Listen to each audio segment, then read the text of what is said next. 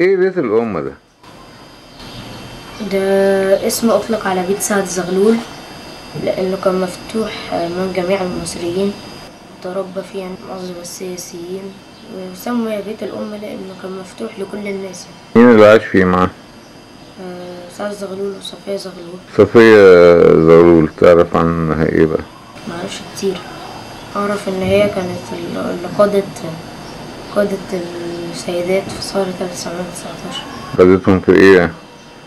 إيه القيادة؟ في المظاهرة اللي هي المرأة شاركت في المظاهرة يعني في مظاهرات أول مرة المرأة تطلع يعني وتعمل مظاهرات هو اتحول لمتحف برضه مازال مفتوح يعني لكل الناس لحظات سيداتي وسادتي مع هذا الفاصل